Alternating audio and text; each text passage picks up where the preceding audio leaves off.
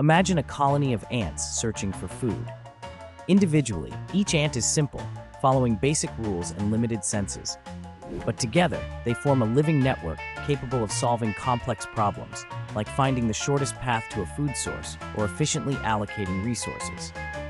This phenomenon is called swarm intelligence, where the collective behavior of simple agents creates sophisticated solutions far beyond any single member's capability.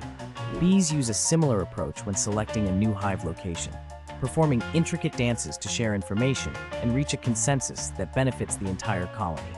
Starlings, in mesmerizing murmurations, shift and swirl in perfect harmony, evading predators as if guided by a single mind.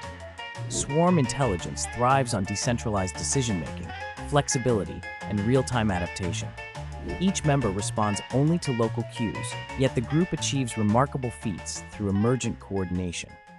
This natural strategy has inspired some of the world's most innovative problem-solving techniques, from optimizing delivery routes to managing traffic flow and even coordinating autonomous systems.